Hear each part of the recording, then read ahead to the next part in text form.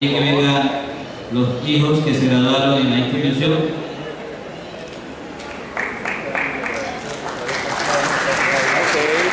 Este reconocimiento se le hace por el agradecimiento por la